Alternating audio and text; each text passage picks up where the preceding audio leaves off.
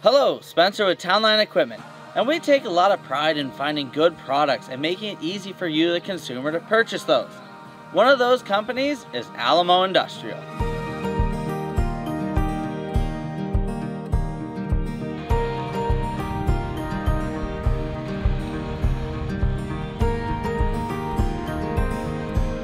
Chances are you have already seen an Alamo product and that is because a lot of highway departments rely on these to maintain their roadways. Alamo makes conventional tow behind flail mowers and they even do over the rail boom mowers as well.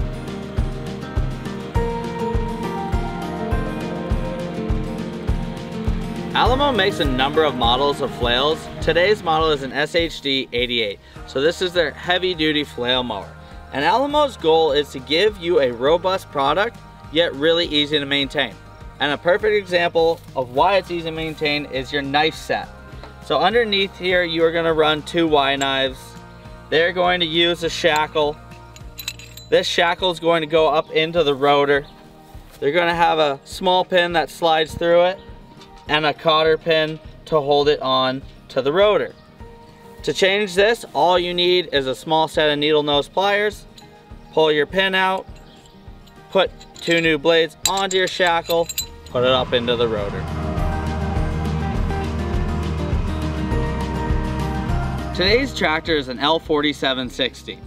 It has plenty of horsepower to run this 7 foot flail mower, but more importantly is its transmission. This tractor has a 3 speed hydrostatic, but in each of the speeds is a high-low range.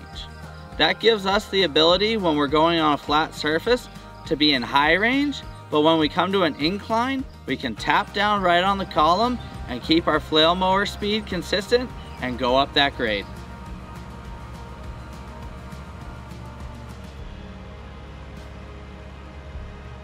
Many of us rely on bush hogs to maintain our meadows, but we're not always happy with the final product. And that is where a flail mower will come in for you. With the multiple knives turning perpendicular to the ground, they're going to give you an excellent smooth finish.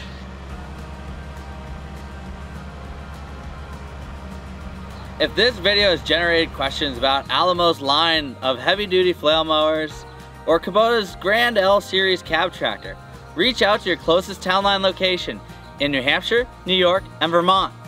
For more videos like this, head over to our website. And while you're there, check out our current promotions going on.